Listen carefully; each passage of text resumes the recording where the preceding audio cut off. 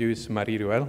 Um, not that she needs much of an introduction in this group, but uh, I decided to use my two minutes anyway. So, in the fall of 98, 21 years ago, Marie came to Cornell to give the Field of Nutrition seminar. She presented the Ghana urban nutrition work, in which she showed that good care practices mitigated the negative effects of poverty and low maternal schooling. At the end of her presentation, I asked a question, possibly my first as a new graduate student. Before Marie could answer, Jean Pierre jumped in and said, Marie, what I think he really wants to ask is, but he didn't get much further than that, since Marie said, Jean Pierre, let me answer the question. I understand his question. Finally, had, I, had, I had found somebody who understood my questions. Marie's contributions to the field of nutrition, global nutrition, are impressive. Her research has often brought attention to topics well before most others in the field realize their importance. Marie has contributed significantly to developing and improving tools for measurement. Her work has played an important role in the current consensus on preventing malnutrition during the first thousand days. Her scientific work and her leadership have been instrumental in the current global focus on the linkages between nutrition and agriculture, nutrition sensitive programs, on conducting theory driven program evaluation research, and on the more recent focus on implementation research in nutrition. I want to take this opportunity to highlight three things that are more difficult to glean from scientific papers, characteristics that make her a remarkable researcher and colleague. My first point is about mentoring. Even though Marie has not worked at the typical academic institution, she has a remarkable legacy of closely mentoring young researchers who have grown to become senior researchers and professionals at academic and research institutions, donor institutions, and international agencies. One also does introductions at award ceremonies. Marie's mentorship, however, goes well beyond individual researchers. She was the first nutritionist at IFPRI and has mentored that entire institution to pay much closer attention to nutrition. My second point relates to research rigor. Marie has an exceptional and unfading focus on rigor in research. From writing proposals to finalizing a research paper, what you do has to be accurate, consistent, and communicate, communicated clearly and accurately. In addition, Marie is very straightforward and transparent. Combine the two, and you know that when you share your work with her, you get useful yet unambiguous and honest feedback. What is most remarkable, however, and this is an important thing to highlight, is that Marie's candidness is never about raising her own profile. It is about making sure the work is done well and that it's relevant for nutrition programs and policy. My third and final point is a bit of a mystery. Marie is extremely busy, yet has time to actively listen, provide advice, and help find solutions. Her life appears in balance. I'm not sure how she does it, I suggest that it's something she writes up and shares with all of us. So, is a conclusion that uh, of everything I've said that Marie is perfect? Almost. There is one area of nutrition research where Marie's reading of the evidence seems a bit selective.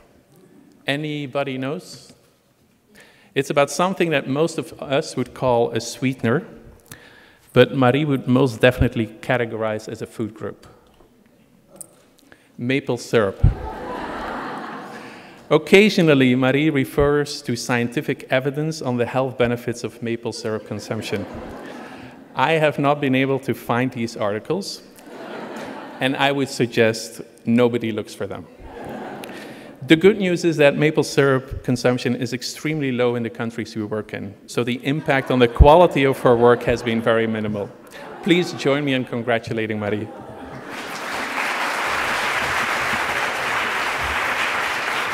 I am, it's, it's such a great honor to receive this award. Um, I really never thought that I had the kind of background that could receive such an award. Um, and I'm particularly pleased because I'm joining a group of incredibly um, uh, accomplished experts and scholars in nutrition, and especially my advisor, my dear advisor, Jean Pierre Habicht, who was the first one to win the award in 1994. So I'm, I don't know, it just has a special uh, meaning for me to be getting this award today. What I will focus on today is my journey uh, with a focus on the aspects of my work that has been on, on program relevant research. Um, there's a lot of things that I have done that were not necessarily on this particular path, but this is the path that I was the most excited about and, and the most uh, motivated to, to go into. So I will take you through the journey on the, looking at first at the four big phases of my life and, and of my career. Um, and it, these, these are part of the timeline of, of what I will be presenting. So it all started with my father, who was diagnosed with diabetes in 1969 when I was 15 years old. And um, we, we went from a family of eating two desserts a day, homemade, uh, mind you, and a lot of maple syrup, as, uh, as Jeff said. That was very apropos. And um, I still eat a lot of, of my maple syrup, it's true. But, um, but we went from a family who was eating a lot of sweets and a lot of, of, of good foods uh, to a family that was counting calories, counting portion sizes, and had to pay attention to diets. So for me, it was really a transformation in my household. And I thought, well, I think I should just study dietetics. This is where you learn about nutrients and diets. And so I went to Laval University and I did my undergrad. And then I did a year of internship at the Royal Vic Hospital in Montreal. And I practiced dietetics and I really disliked it. And so I thought, what do I do? Um, I, I've done all this and I love the learning, but I didn't like the job. So I went to do my master's. I thought maybe I would see the light, and I did see the light actually. And um, I met Jean Claude Dillon, a French professor that probably not many of you know, who was, uh, he was a, he's a French uh, tropical medicine uh, pediatrician who was at Laval at the time, not for so long, but he was there. And um, he, um, was, he had been working a lot in West Africa and was then working in Haiti. And so I, I went along and studied with him, and he took me to Haiti. And I did a work on, on riboflavin deficiency. Who would have known that I've ever worked on this? Uh, this has not been my career, but, um, and actually I was really glad that my paper was in French so nobody could read it. or at least uh, I didn't want people to know about it. Um, so what I've learned from that was, of course, the challenges of developing countries. I had never been to a developing country before. Um, I learned about international work, international development. I talked with a lot of expats and people that do this work.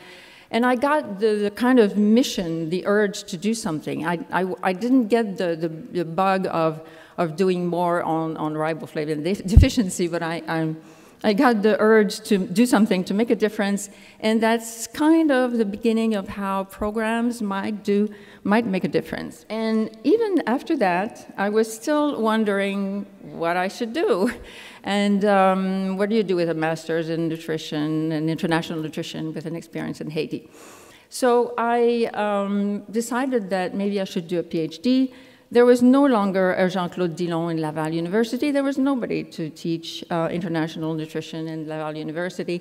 And so I talked with Micheline Beaudry-Darisme, who was then at Moncton University. She had been a student of Latham, of Michael Latham's and at Cornell. And she said, well, how about you visit Cornell University for a semester? Just go see, you know, if you like it, you might meet a lot of people there. Um, and so I did. I went. Uh, there was a, a, joint program between uh, SUNY University and Laval University. And um, she said, you know, you should really meet Michael Latham. He's, he was my advisor. He's the best. He's fantastic. And there's also this other professor that he, who is there, who is also really great, but he's kind of scary. you all guessed who it was. Jean-Pierre, dear Jean-Pierre was uh, um, almost love at first sight, if you want. It was the professor I wanted to learn from. And um, he did ask his question on the first time I saw him.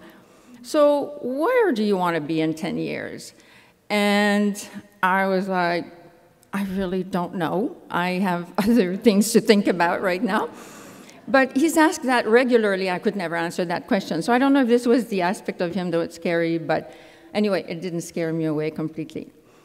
So I joined Cornell and I stayed. I not, did not do just a semester, I did a whole year of classwork and then of coursework. And then I uh, was offered to join the joint UNICEF Cornell Nutrition Surveillance Program which was a, a, program, as it says, joint between Cornell University and UNICEF. And uh, so the, the, light bulbs that you see there are all the people that have been important for me. Uh, they are luminaries that have influenced me. Uh, Jean-Pierre is, I have to say, the one that, that, has had the most incredible impact on my thinking. But all of the others really did contribute a lot as well. And so there, there's a lot of luminaries in, in, uh, in my presentation. So at the time, John Mason was director of this joint program. David Pelletier uh, was in this program just about to go to Malawi. And Victoria Quinn was our contact in, in uh, UNICEF in Eastern Africa, in, in Nairobi. And that's David at the time, with his lovely daughter, Jennifer. Um, so I went to Lesotho. I didn't even know where it was before I went.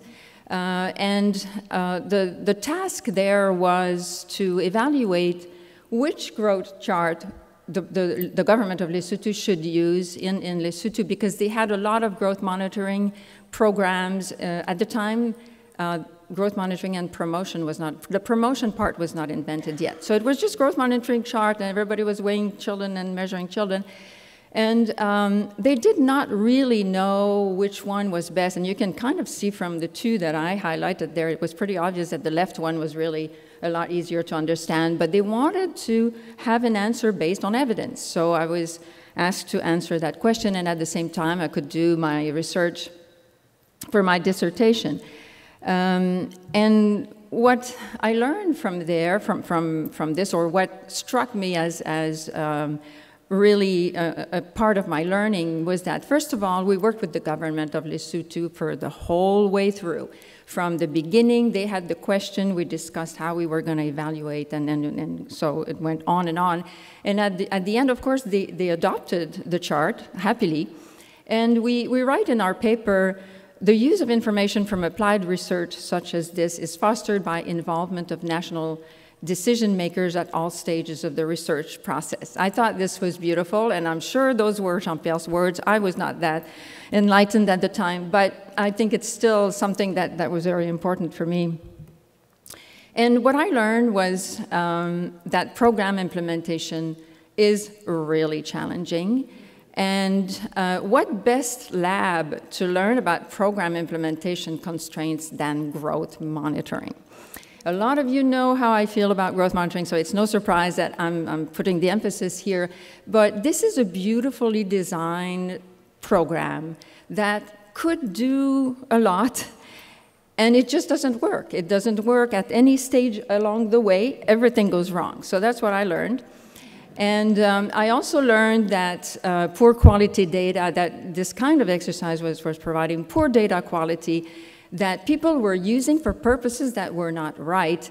The data were, were centralized, sent to the national government, and, um, and then they would make decisions about where are the malnourished children. But those data are not representative, so they, they couldn't be used that way.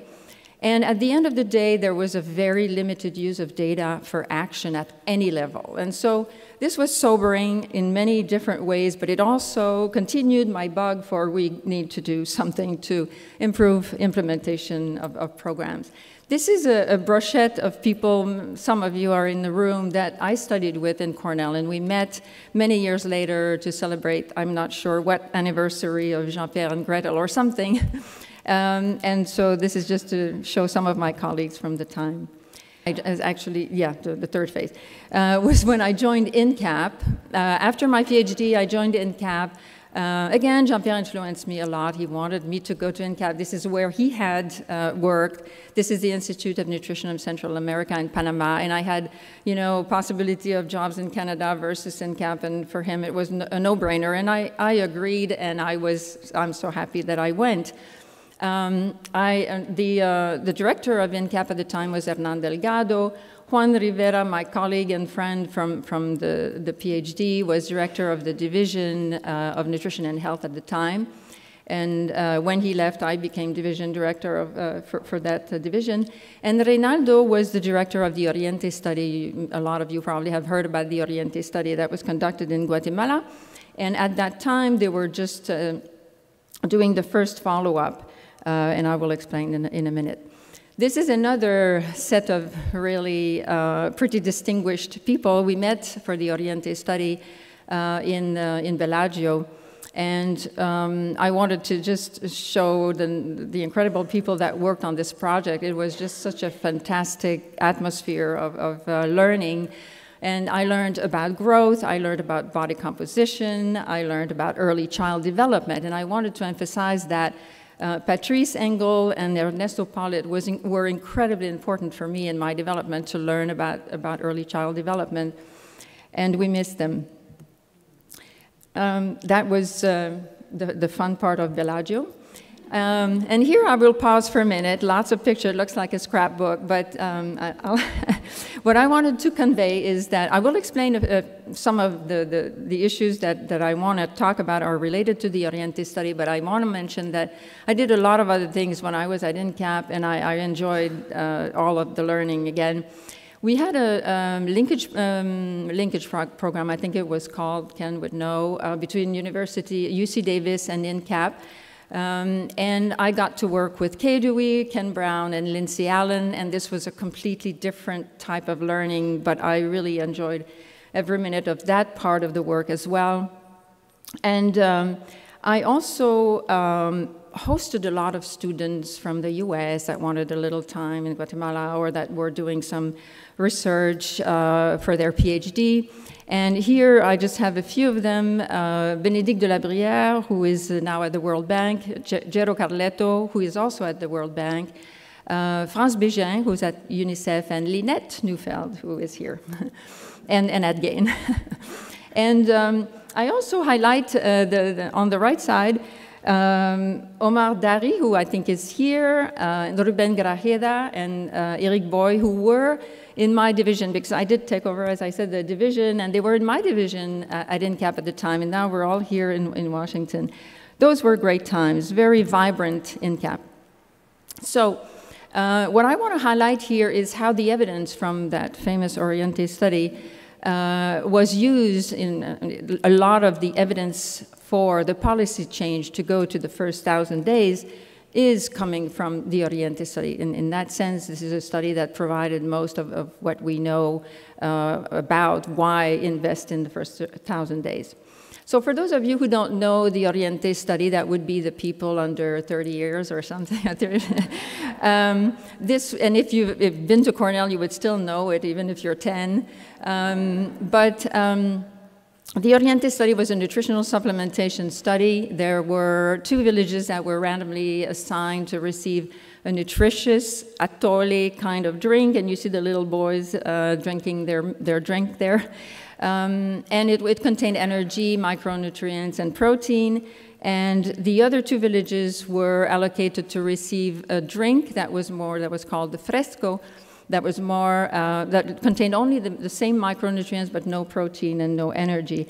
And mothers during pregnancy and children all the way to seven years of age were invited to come and, and consume the drink as much as they wanted, as often as they wanted. And the, the study was conducted in the late 60s, early 70s. So, um, and we were, as I said, at the first follow-up when, when I joined uh, INCAP, and the children were in adolescence or so.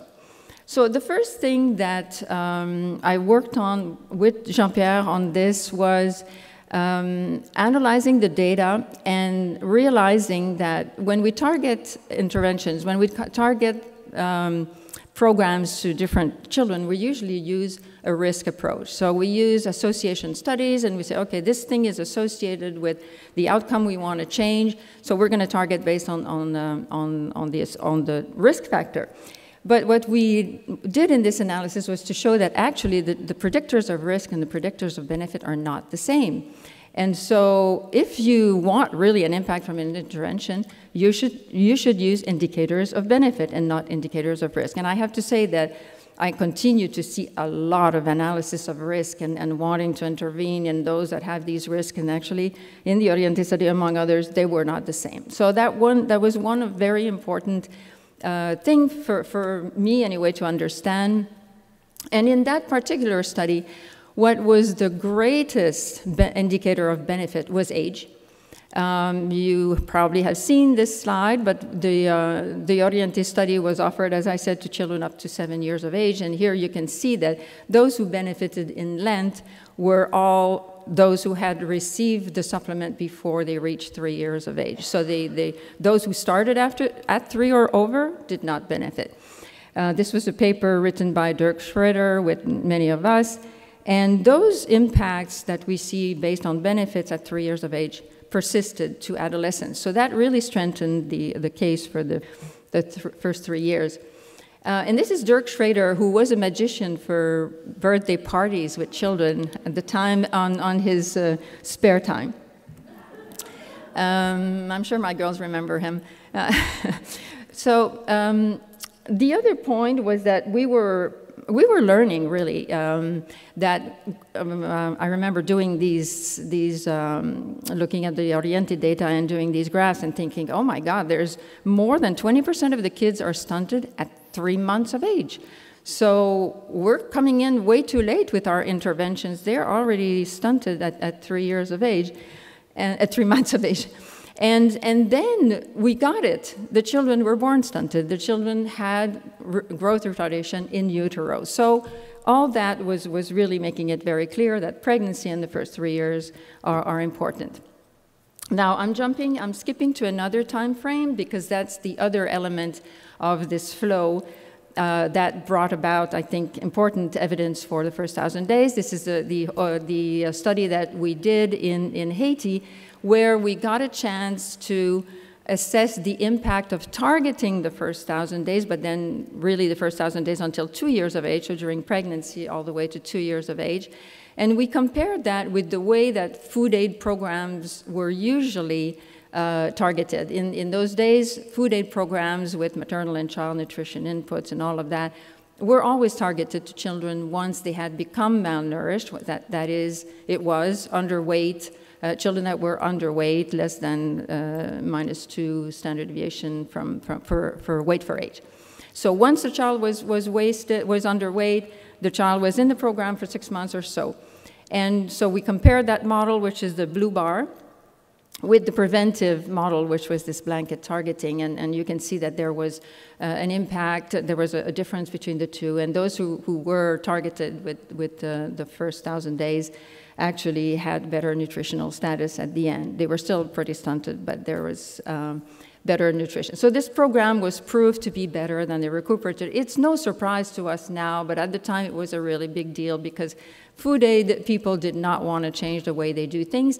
But also imagine how much food it is if you give food during a thousand days versus, oh, for six months for that child. So they could, they could cover a lot more children before, but they didn't have any impact. So, you know, if you, if you think about the, the impact, uh, this is more important. I wanted to highlight uh, our wonderful team here. Um, again, Jean-Pierre with Gretel Pelto were, were with us in, in that journey. Purnima Menon was leading uh, the field work and, and, and was very active in this project. Cornelia Loechl, it's, it's a pleasure, Cornelia, that you made it today, uh, was in Haiti and, and leading the, the whole project. Wonderful time. And my husband in the back, who was with Fanta at the time. and, and our, our counterparts, our partners, wonderful partners from World Vision and, and, and other people that we hired for the project and from USAID. Um, so uh, I don't want to spend time on, on the first thousand days, but I just want to say that for me, this is such a great example of using evidence for policy and, and also the way that for once the nutrition community has been able to mobilize itself and, and agree on something. And, and it has had a tremendous impact, not just in the nutrition community, but I can see in the work, in my, in my work with the CGIAR, with the, the ag, the ag people, and, and all of the, the research centers that we work with, how much impact it has had because it, it's, it's just everywhere that we focus on the first thousand days. The downsides, the first one, of course, is that now we're neglecting the other age groups. Uh, I think there's a lot of people who feel that way, that now the children two to five, there's nothing for them, and we have to think about them. Um, there's a, miss, a, missed opportunity that we continue to miss is to work with the early child development community. Uh, the thousand days is equally important for ECD as it is for nutrition, and we still don't work enough together, to my point of view. Um, and I think Jeff has probably said that, that there is a problem with the fact that the thousand days and stunting have been bundled together. So especially for the non-specialists, and, and I, I, can say in agriculture and all that, if they think a thousand days, they think they have to improve uh, stunting, to reduce stunting. So that, that's another downside, but we can, we can figure those out and, and resolve that. Um, so, IFPRI, 23 years of my life, and I'm, uh, I'm, I don't know, 20 minutes into my presentation. um, but those days were very special. The past days were very special.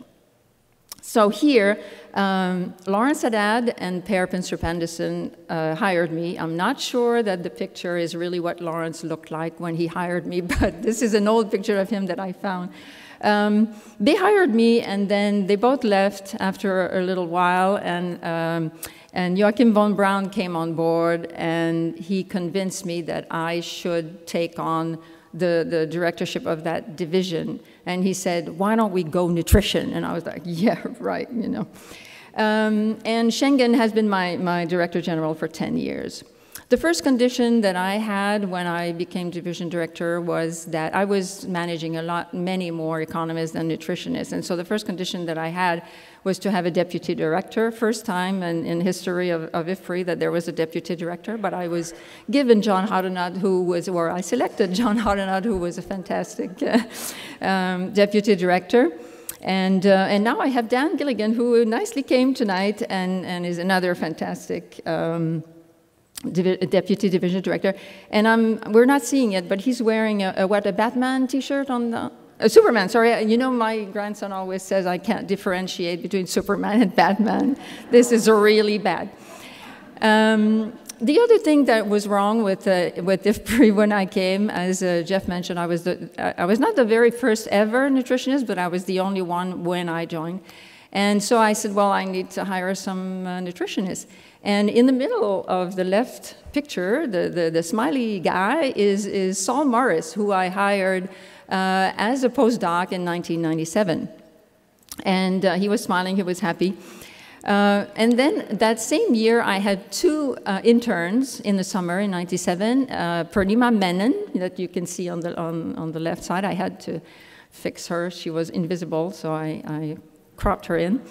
Uh, but she was there.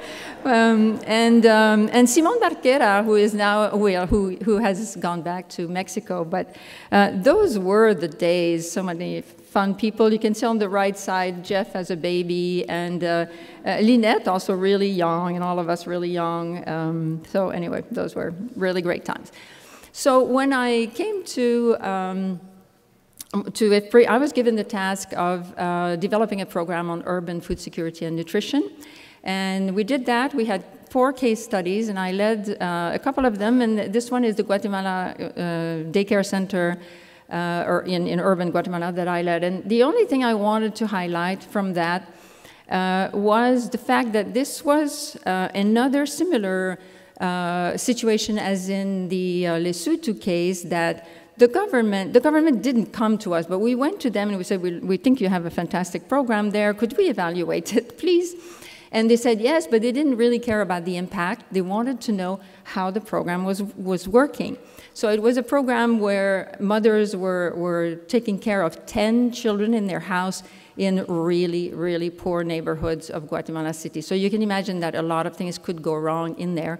And a lot of things did, but they wanted to know, they were honest about it. And so we did, um, with Bénédicte de la Brière, who is there, um, this was the first time I published a, a, process evaluation, but we really had to figure out a way to do this. We, there was no guidance. Uh, I was looking at an old operational research document from the core group or something, uh, even not before the core group, PRICOR, I think it was called. So this was really something that I had to invent, and, and it, it, was very challenging, but it was, the results were fantastic, and, and they, they were very happy to get our recommendations on how things could be improved. Um, so now I, what I want to talk about is how we build our nutrition sensitive research portfolio. So you all know that this is something that IFPRI has done uh, is to do a lot of work on, on nutrition sensitive programs and how we did that is, is what I want to highlight here. Uh, I'll take the example of, of uh, nutrition sensitive agriculture or agriculture and nutrition, but this is really not the only area where we've done nutrition sensitive work. We work a lot with the economists on, so, on social protection programs. We have Harold here who has worked a lot on, on ECD as well, early child development. We have lots of people that work on food, uh, school feeding, and, and things like that. So of course, agriculture and nutrition was not new when I came to IFPRI. You see on the left side the gray um, the, the, publications of IFPRI were not that shiny in the past, and so uh, that was a, a 1980 something publication. And uh, it was probably Per, I can't read, but I think it was Per, Pinstrup Andersen, and, and, a lot of people worked in this area. But they were using nutrition as an outcome. That was it. You know, agriculture must be important for nutrition, so we're going to measure and we're going to conceptualize. Um, but we wanted to fix that. Nutrition is not just an outcome. For anybody, it should be just an outcome. Um, so first of all, we defined the pathways of impact. That was really important because everybody had done some work on, on pathways of impact, but but we, we just couldn't make sense of those multiple pathways that, that looked like spaghettis that, that people were looking at. So we simplified the pathways to six or seven, and we, we educated people about it. We have here um, a guidance document that was produced and has been used a lot, especially by, by agriculture pe uh, people who want to know, okay, I want to improve, uh, I want to improve nutrition through this. I'll choose the, the income pathway or I'll choose the uh, women's empowerment pathway. And um, I had the opportunity to also, uh, I just wanted to highlight, uh, as part of our educating and, and building capacity, and uh, I had the opportunity to uh, participate in a learning session with Melinda Gates. I was pretty honored to know that she was interested in learning about this. Uh, uh, Shelley Sun, Sun, Sundberg and, and, Laura Burks had invited me to uh, participate, and they had organized a session. And, and, I thought this was really nice to be able to talk to people that uh, can, can have impact and to maybe uh, help them shape their ideas about the importance of agriculture for nutrition and also the critical role of women uh, in this nexus. Another thing that we did is develop indicators. Indicators uh, really help because then you have something to measure uh, the concept that you're trying to talk about.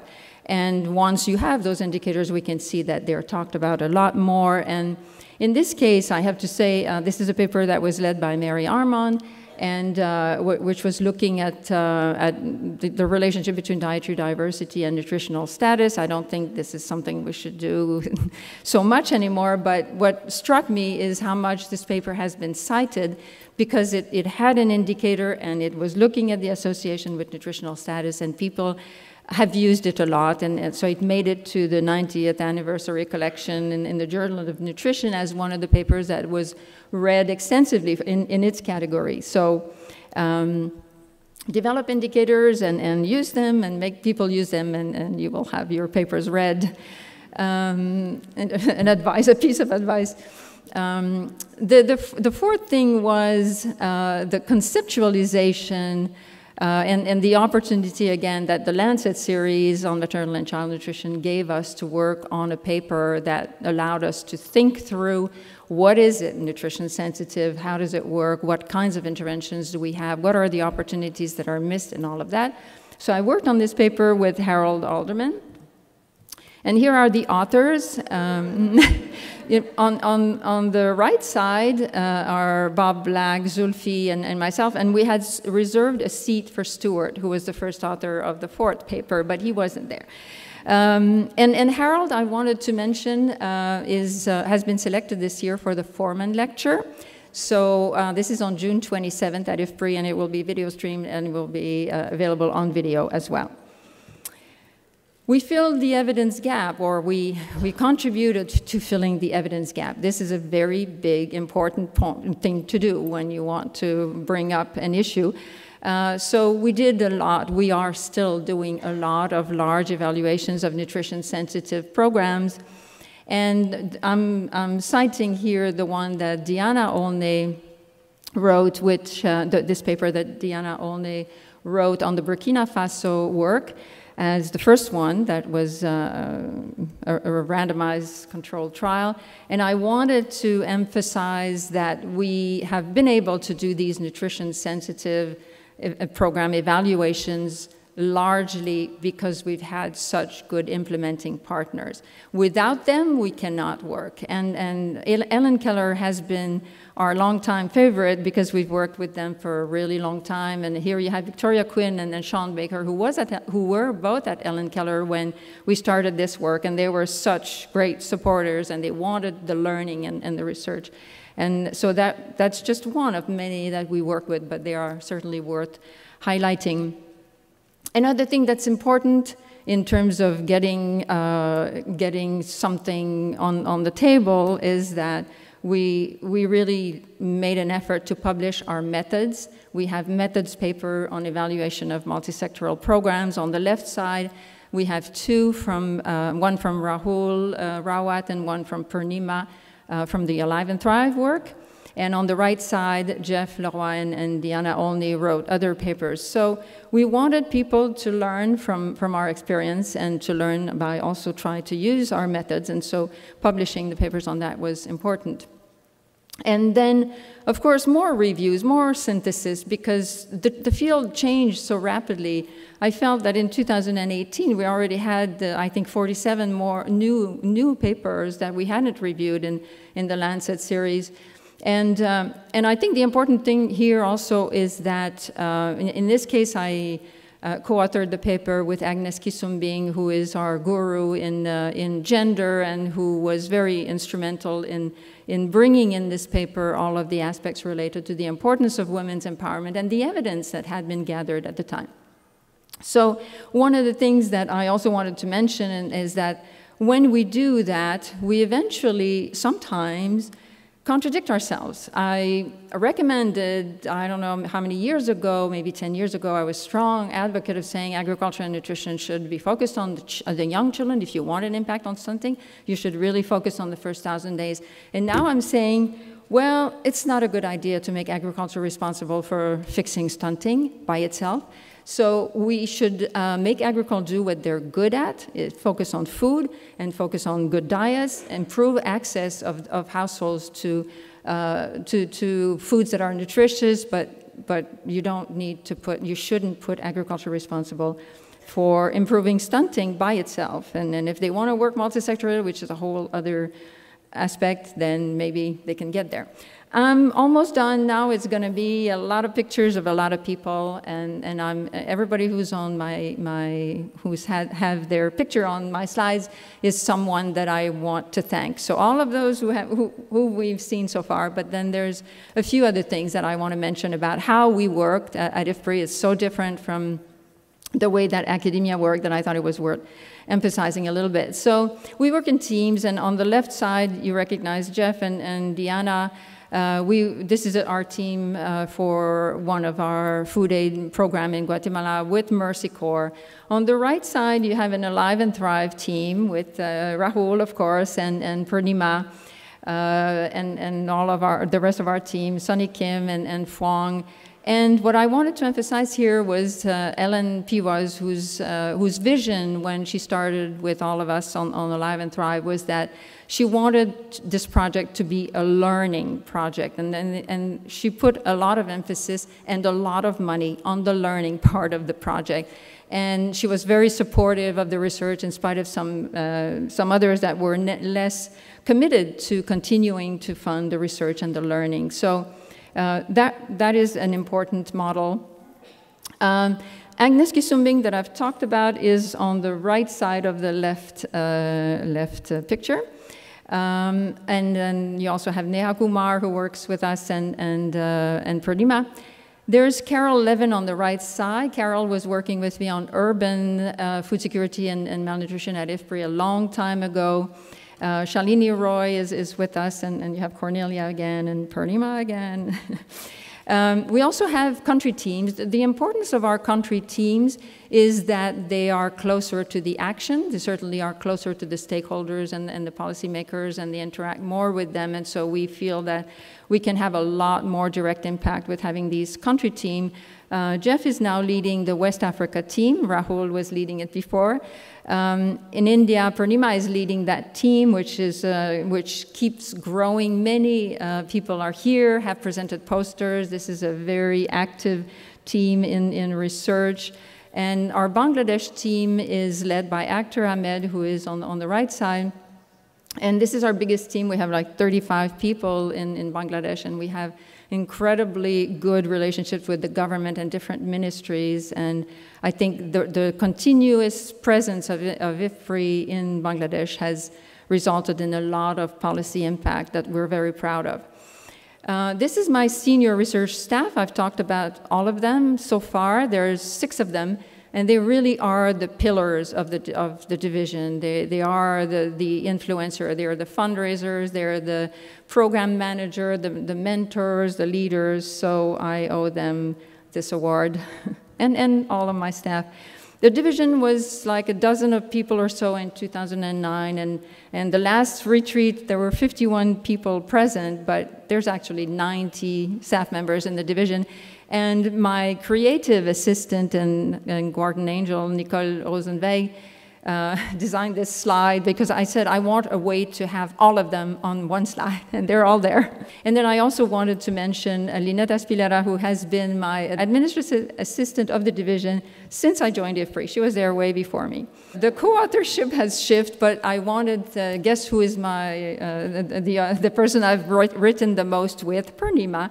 I have worked with her since 1997. The second in Jean-Pierre, and then Phuong, because Phuong is so productive. She writes so many papers with everybody. Uh, Rahul, you're there, Jeff, and etc., etc. Um, influence at IFPRI, uh, we used to cater donuts and cakes and, and uh, big, big cookies, uh, the, the, American way. And now we have an advocate in Shenggen, our, our, director general, who really keeps saying we need to eat healthy, nutritious, and sustainable foods, and we do. The picture on the right is uh, Jamed Falik, who helped me with these slides, thanks to, to him. And Melissa Cooperman, uh, I wanted to thank her. She is somewhere in the room uh, doing a video of the, of the lecture. So if anybody has missed it, uh, you can tell them they can see the, uh, the video. And um, this is my fantastic family. You all, I'm, I'm going to start being really... so I'm going to leave you with that. They have accompanied me the whole way. Thank you.